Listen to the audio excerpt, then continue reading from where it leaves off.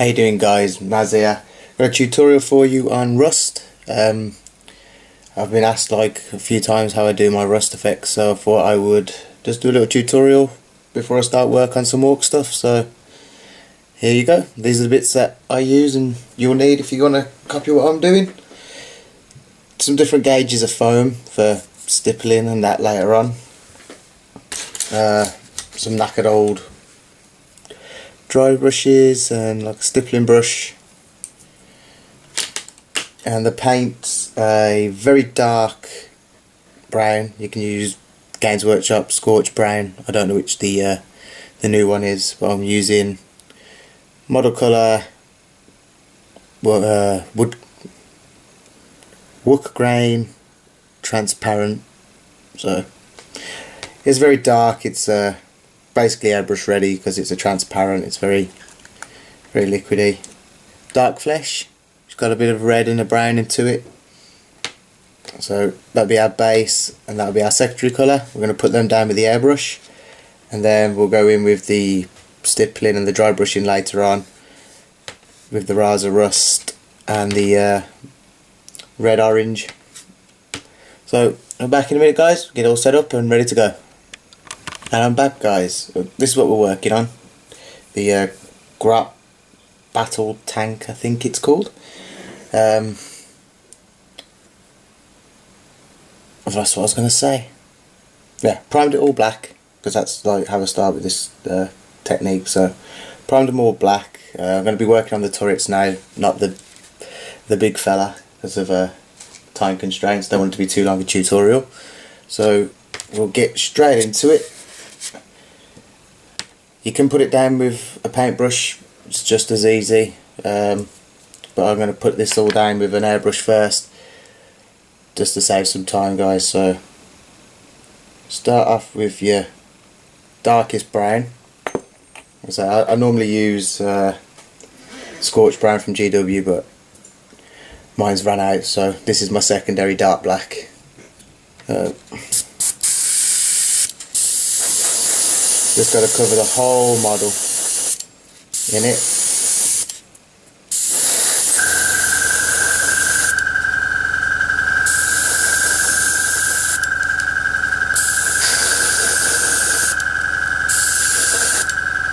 Don't put too many layers down first. It's always better to go over again later.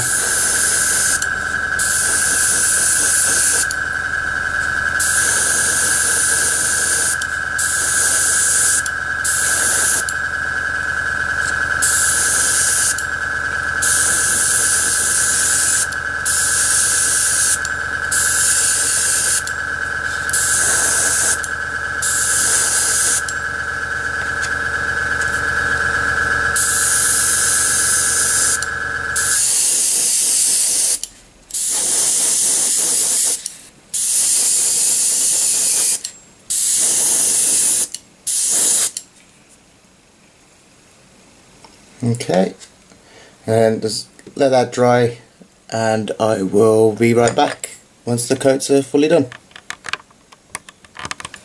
I'm back guys, uh, put the rest of the coats down now. Um, as you can see, got a nice dark brown, very dark brown covering over all the model. Now we're going to go in with the airbrush and the dark flesh and just pick out spots and just go with the flow of it. It's, it's got to be organic. Can't really just map it out. Um, put that down for your secondary rust. I like to think it has, and then put the airbrush away. You can do it with a brush as well if you're doing smaller parts, like on weapons or power claws and things like that. So let's get on with it.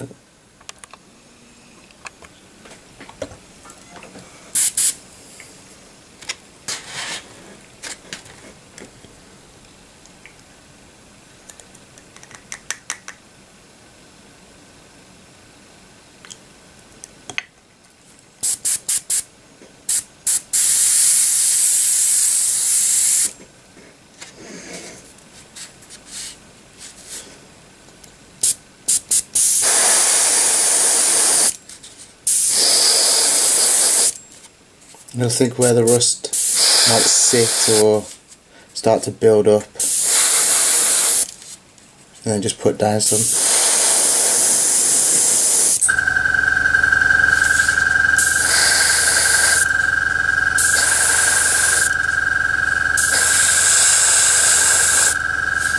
You see? And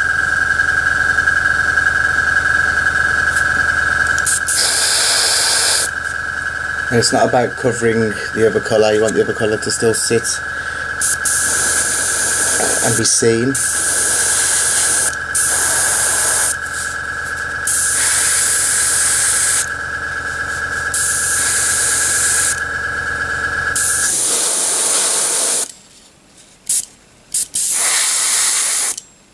Now see, put it down thicker for a, a different shade.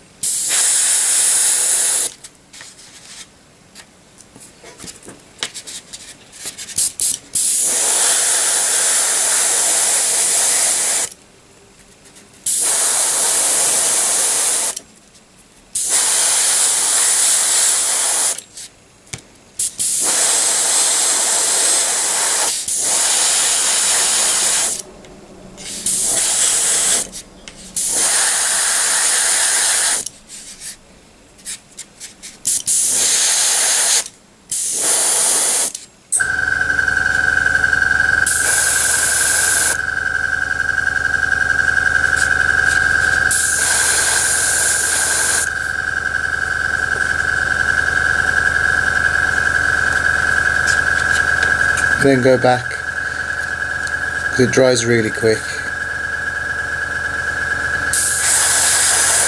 And just build up a couple more layers here and there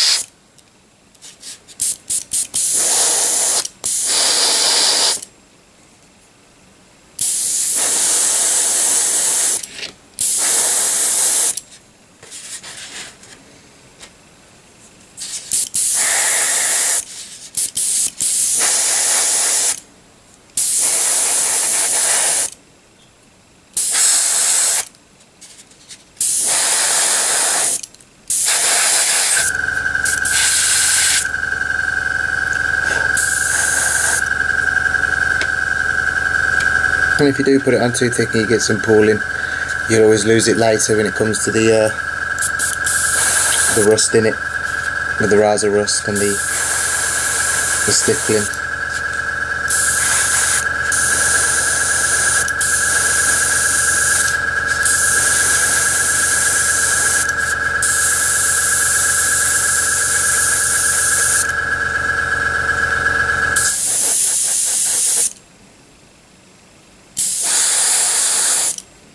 And guys, I'll let that all dry out and I'll be back and we'll do some stippling and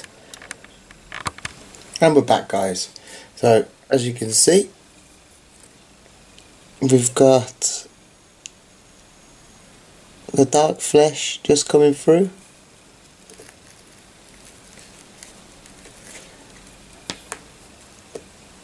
Like I said, just in patches, not covering the whole thing.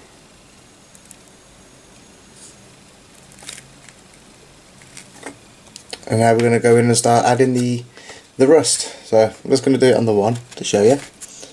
So I can carry on with the others afterwards. And got the foam.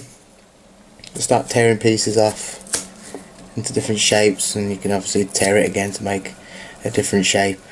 You're just looking for different textures and that so.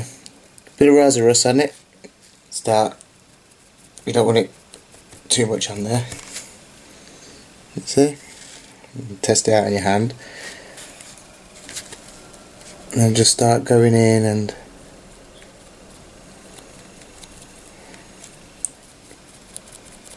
picking out parts you want to rust up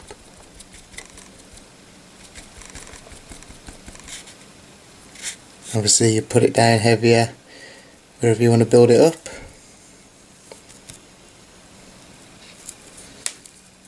Say under here.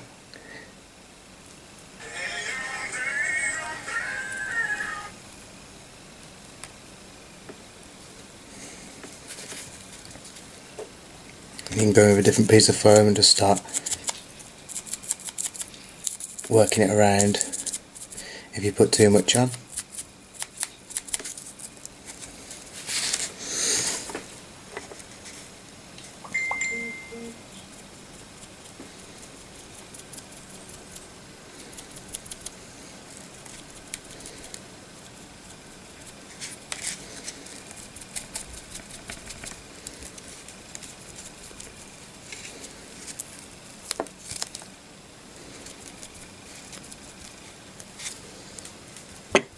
It's just all about going with it, going with the flow. No, I cheated because I magnetised these weapons.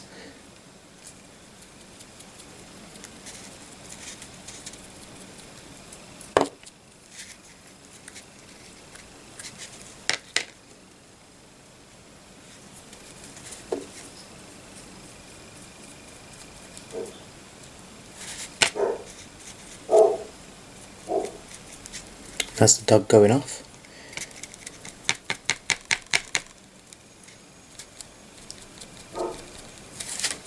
You see I put too much on there. So go over a different piece of foam and just start working it take it down because obviously you don't want it bright luminous orange and as, as it dries it will fade down a bit more so you can just go back in and touch up any areas you want to touch up. I'm going to go all around the rim.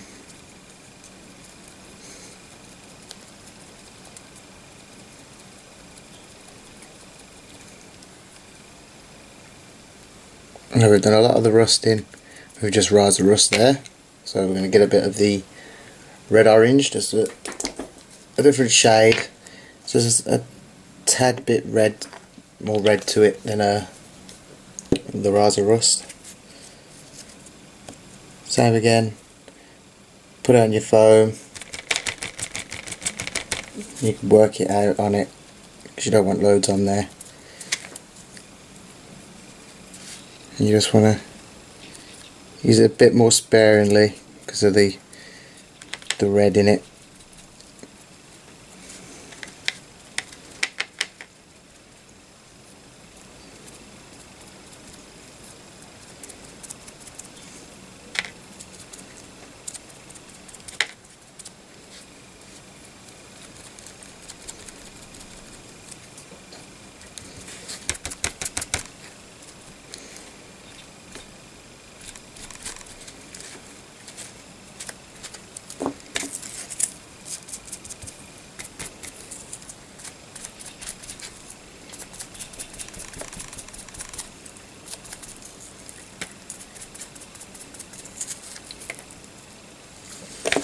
And that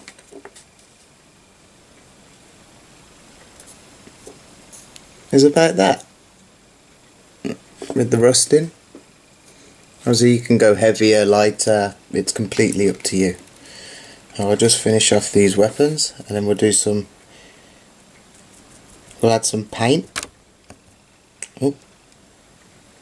Tap the camera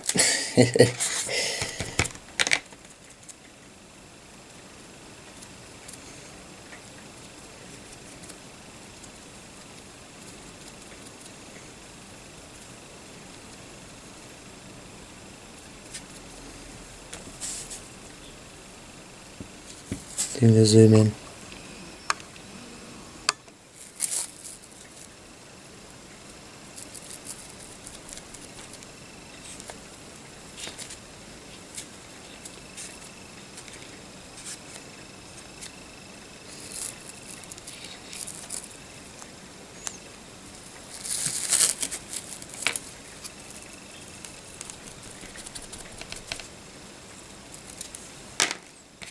The one.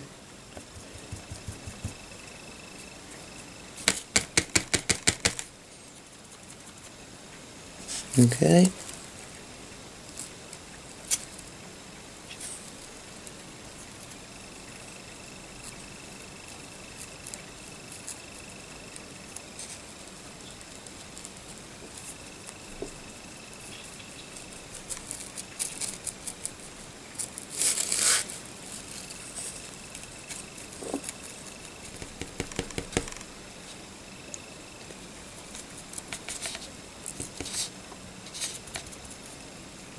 Obviously while I'm doing the weapons the turret will be drying a bit.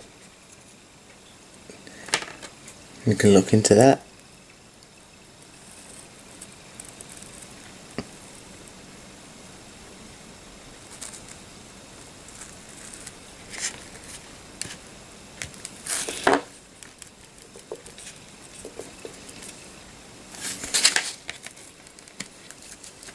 Add a little bit more it's faded out a little bit when drying.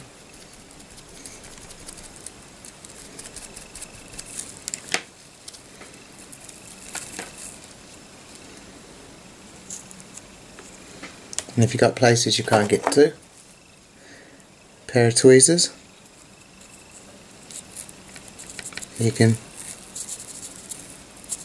push it in there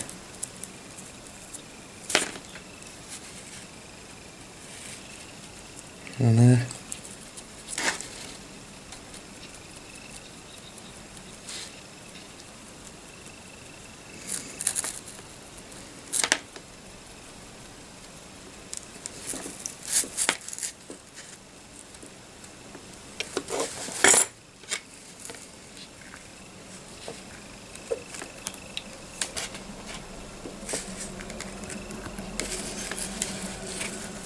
and that's one rusted gun turret guys.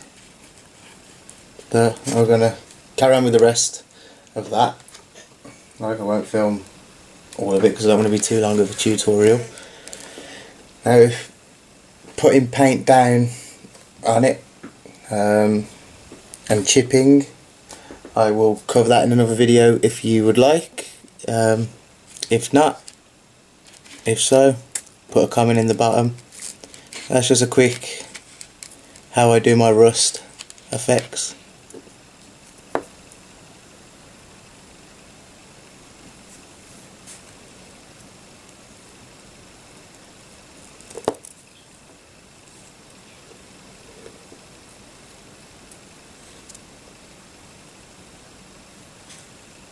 Okay guys, you be safe and thanks for watching.